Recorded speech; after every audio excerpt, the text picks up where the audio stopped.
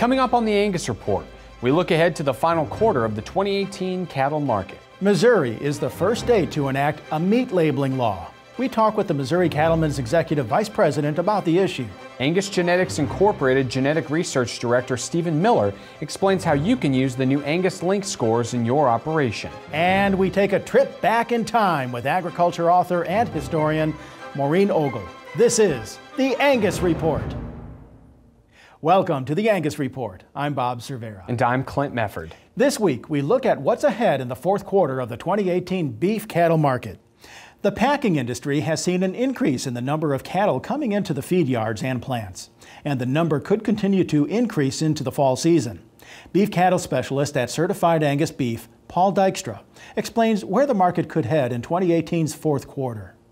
Well, it looks like as we move toward the fourth quarter here in late 2018, we currently have plenty of fed cattle supply. It looks like probably more than what the packer can manage today.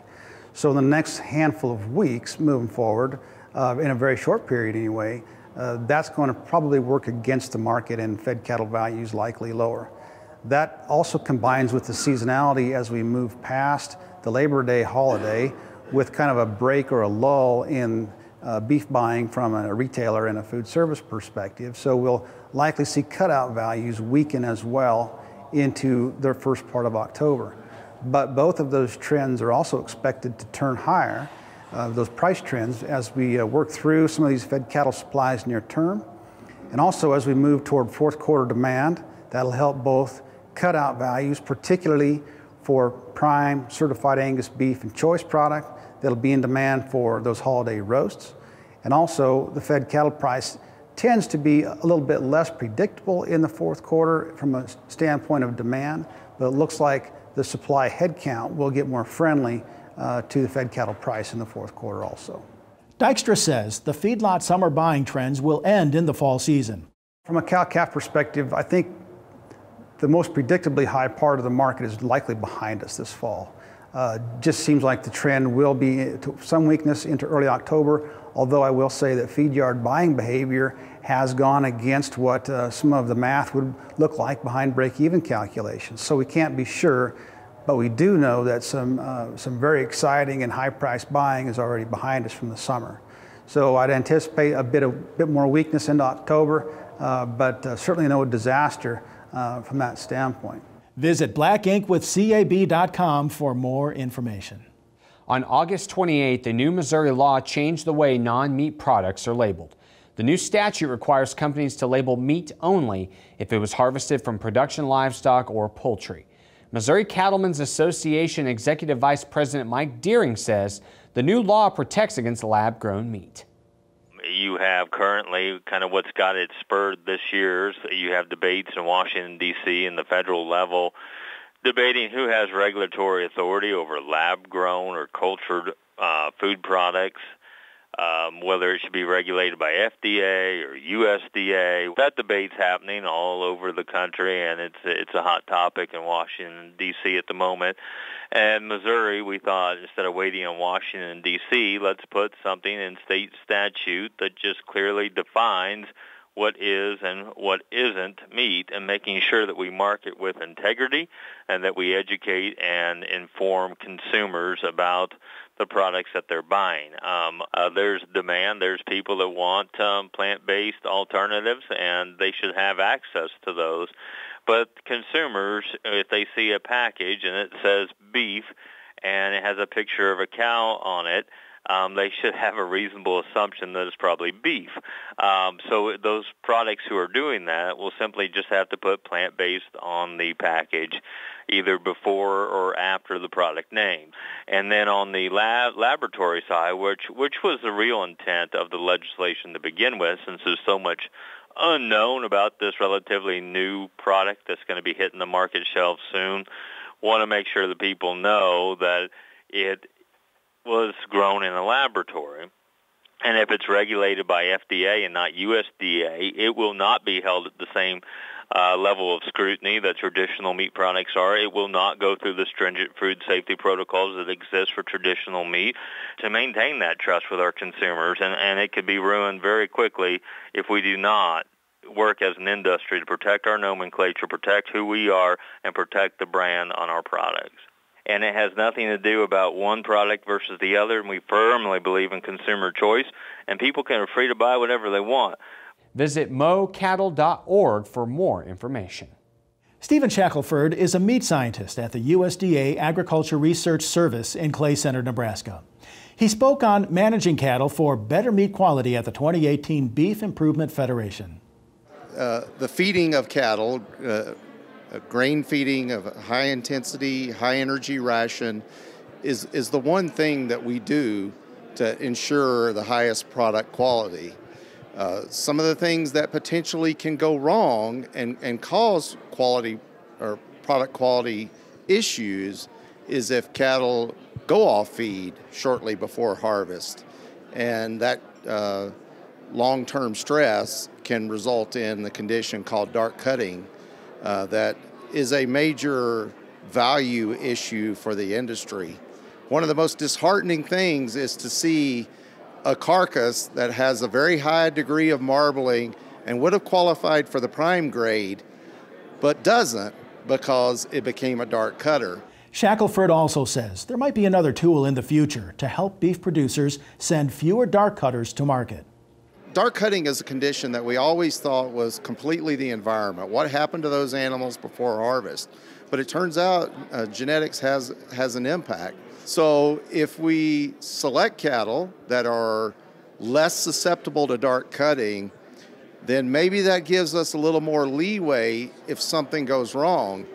We have some cattle that are dark cutting that become dark cutters when we think we did everything right.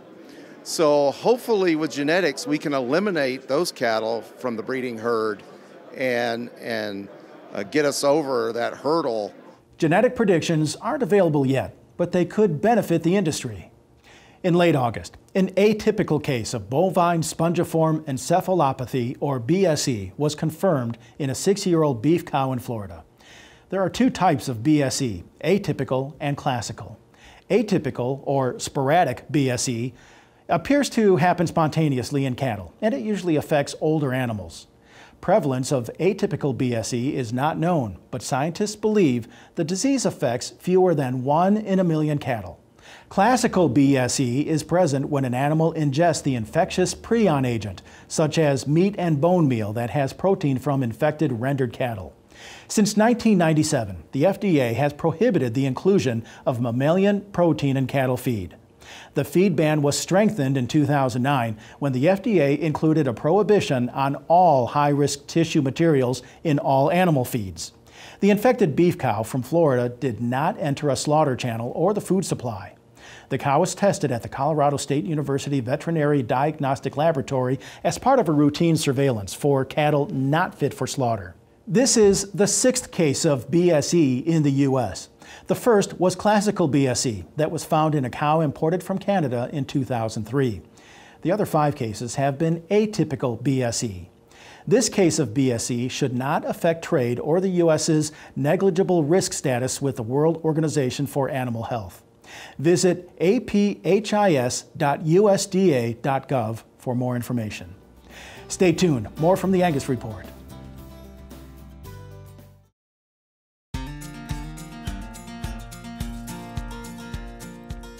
Welcome back to the Angus Report. The 2019 National Western Angus Bull Sale will be here before we know it. America's largest meat supplier, Tyson Foods, expands its global market with a recent purchase. Rachel Robinson has more in our industry updates. The National Western Angus Bull Sale will take place during the National Western Stock Show again this year on January 16, 2019. New this year, bulls must be entered into both the National Western Stock Show and the National Western Angus Bull Sale to sell.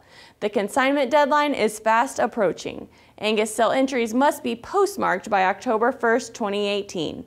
Visit angus.org for the entry form and more details. Tyson Foods, the largest U.S. meat supplier, announced the purchase of Keystone Foods for $2.16 billion. The purchase gives Tyson an even larger share in the global meat market. Tyson's acquisition includes six processing plants and an innovation center in the U.S., and eight plants and three innovation centers internationally. The deal is expected to close next year. We check in now on the latest cattle market news with our market update brought to you by CattleFax. Hello, I'm Marcus Briggs with the CattleFax update. The Consumer Confidence Index climbed to 133.4 in August, which is the highest value in 18 years. Consumers surveyed are optimistic about job and wage growth over the remainder of the year. The civilian unemployment rate was lower in July at 3.9%, dropping beneath the 4% level for the first time since the year 2000. According to Federal Reserve data, disposable incomes have grown 1.9% since the beginning of the year. Lastly, another bullish signal from consumer investors is a new all-time high price on the S&P 500 stock index. The S&P traded above 2,900 points for the first time on record Tuesday, August 28th, and made another new high the following day. The recent peak in the Consumer Confidence Index is a critical factor to understanding the resilience of demand at the retail level. Motor gasoline prices were nearly 20% higher in the summer months versus 2017, but motor vehicle miles driven were up almost 1 billion miles. Demand has also been stable at the retail level for beef so far this year. The major ways to evaluate beef demand calls for inspecting the elasticity of a few different factors. Beef prices are considered inelastic. That's the own price and elasticity of demand. So as beef price increases, the quantity demanded decreases, but by a smaller factor. The USDA all fresh retail beef price was up 6 cents on average in the first half this year, only a 1% change over a year ago. Beef also has a cross price elasticity with other protein sources like pork, and although beef prices are higher, retail pork prices have maintained a steady price ratio to beef. Retail beef prices averaged 1.5 times the price of retail pork in the first half of 2018 and 2017 alike, so that had a negligible effect on demand so far. Lastly, beef demand has an income elasticity, which is a measure of how beef demand changes as consumer income changes. Academic research shows as incomes rise, the demand for beef rises almost proportionally, so a rising disposable income is positive for demand. Overall, despite a tense political climate both domestically and abroad, the fact remains that consumer confidence is near record high. Factors of demand for beef are either steady or positive, so consumers are likely to continue buying beef until they feel like their economic situation changes. For the Angus Report and CattleFax, I'm Marcus Briggs. To learn more about CattleFax, your leading source for beef industry market information, visit cattlefax.com. Next on the Angus Report, hear from Stephen Miller, Angus Genetics Incorporated Genetic Research Director. He talks about how Angus Link scores can help you select better Angus genetics for your operation. Stay tuned.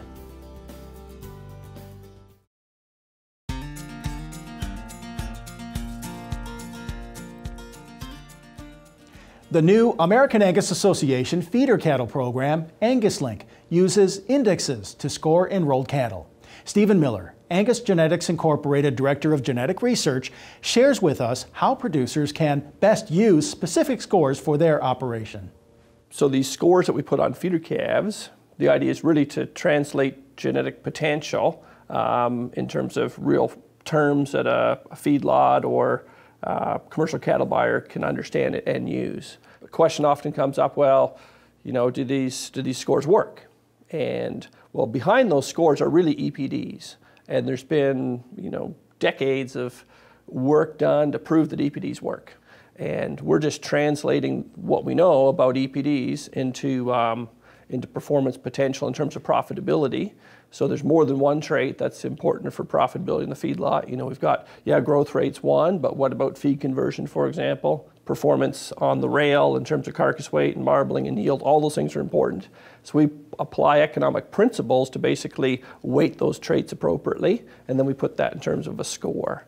So these scores that we put on the commercial calves are directly, again, directly related to the economic indexes that have been, av- been available on Angus cattle for quite some time, actually since 2004. They get updated, but uh, you know, economic values or these economic indexes on seed stock cattle is not new. Uh, putting it putting it into these commercial calves is relatively new. There has always kind of been a bit of a disconnect between the cow calf side in terms of they buy bulls and they understand EPDs, but they sell their calves in the marketplace and they're 600 pounds in black and they've got these vaccinations, but the genetic information doesn't actually flow with those calves. So now we've actually taken that genetic information, you know, the bull history, Um, you know, have breeders actually been selecting bulls that are above average for growth and marbling and these things that are important in the feedlot. And now we can distinguish between genetically really good 600 pound black vaccinated calves and calves that um, are 600 pounds in black, but not necessarily great for marbling and growth rate, and actually putting a dollar value on those things. Miller explains what each index is. The indexes that are used with uh, Angus Link are, are basically the dollar beef, dollar feedlot, dollar grid values that um, breeders would be familiar with.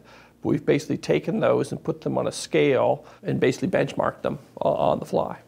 So a, a, a commercial uh, breeder, when he's looking to select bulls, what he needs to look at is, is essentially that dollar B or dollar beef value. That's our economic index on seed stock cattle, but that is directly comparable to the beef score that, that's put out on those feeder calves. So if he wants to improve the beef score on his feeder calves, he needs to buy bulls with a higher dollar B. Uh, if he wants to improve his feeder performance score or his grid score, likewise, um, selecting bulls with a higher uh, dollar feedlot, dollar F4, dollar G in terms of dollar grid. Visit anguslink.com to learn more. Stay tuned.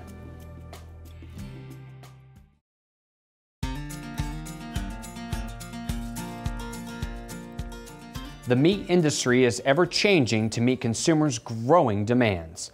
Maureen Ogle, the author of In Meat We Trust, tells us the history of the meatpacking industry in the U.S. She tackles many misconceptions about beef production and gives us a glimpse of the past. The city, the crowds, the constant hurry and work. This is what city living is like for most Americans. The one thing about people who live in towns and cities is they don't make their own food. That's so obvious we tend to forget about it. And the vast majority of Americans live in an urban place now. And that trend began really as soon as the American Revolution ended. Because so many people were moving to towns and cities, they needed farmers to produce food for them, including meat. That in turn shaped the system of raising livestock and producing meat. Everything flowed from that. The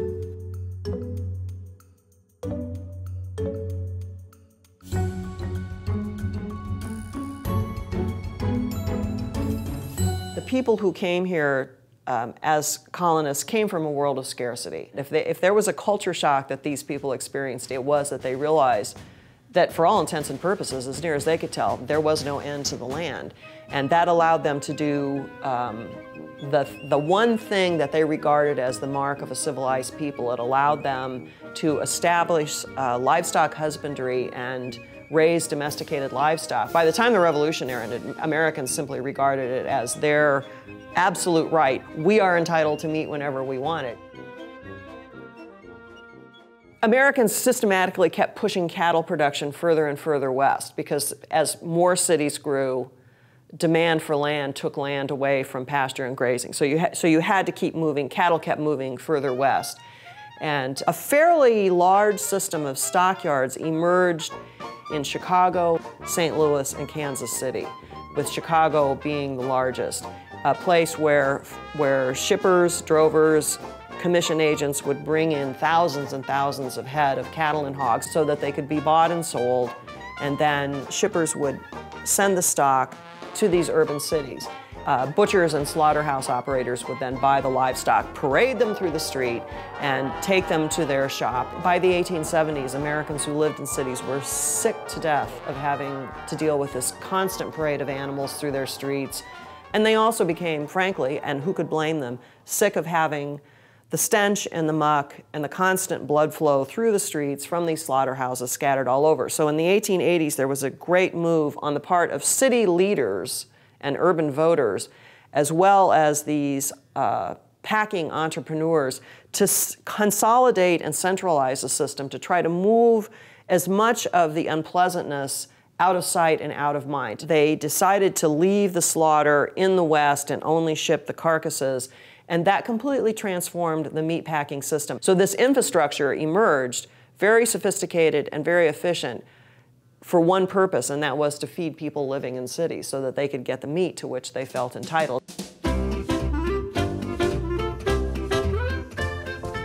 From about 1890 to about 1930 or so, food prices in this country soared to a level we would never tolerate today. Urban consumers were extraordinarily demanding. They wanted cheap food. And it turns out that that long, prolonged period of high prices drove consumer frustration and caused riots, for example, caused meat boycotts, and we're not going to eat any meat until you lower the price. But the, but the simple cause was the big gap between supply and demand. Farmers simply could not keep up with this urban demand.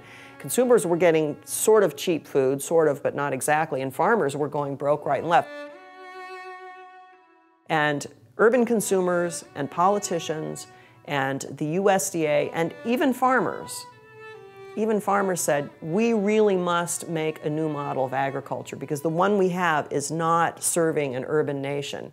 And, and farmers embraced things like confinement, the use of antibiotics, mechanized feeding operations, uh, mechanized watering operations, but all of it was driven by the need to ensure that farmers could earn a profit and consumers could enjoy low cost food.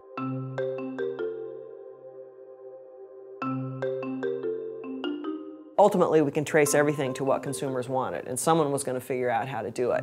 I think that given the demand we have for meat, not just in the United States, but we have a big demand for meat in the United States. Given that and given how much of the rest of the world relies on Americans to make meat for them, I think we actually have a close to perfect system for doing that.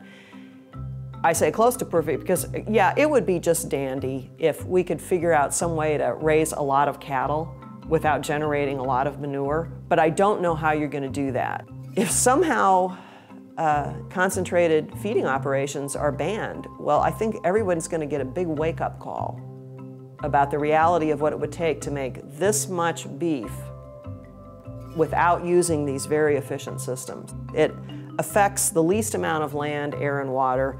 It affects the least amount of people negatively, and it benefits the most people by providing millions and billions of people with low cost meat.